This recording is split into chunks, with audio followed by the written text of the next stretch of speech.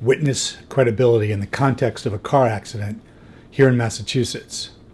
Good afternoon. I'm attorney Neil Burns, and I want to talk a little bit today about witness credibility, what it means, what we do in Massachusetts when we have a case.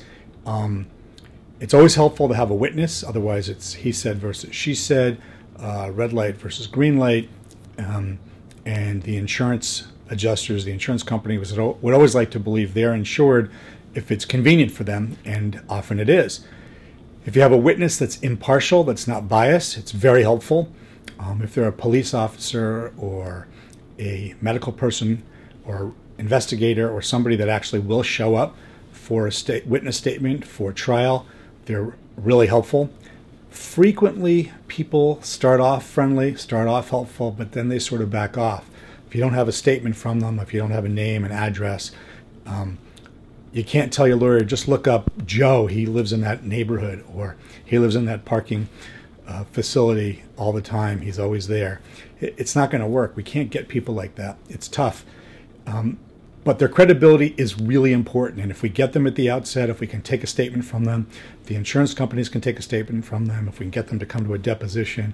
These days it's a Zoom deposition, it's a little easier. It's very helpful. Um, but we also need to prepare them. We need to tell them what's important and what's not important.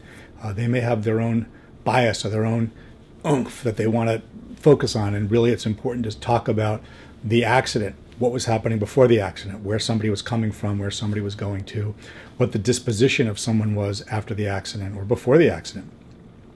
Um, so, if you have a witness, get their phone number, get their address, take a picture, have them take a picture of you it can be really helpful.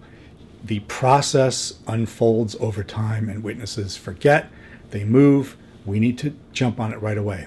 We've been practicing law here in this building for over 30 years. I've been practicing for almost 36 years now.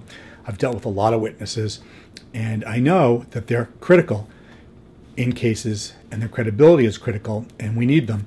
So work with your attorney. Give us a call if you have an accident case and we will help you. At Burns and Jahn, we're aggressive, we're effective, we get the job done.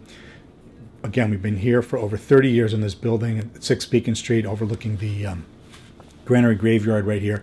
Give us a call. Burns and Jahn, thank you.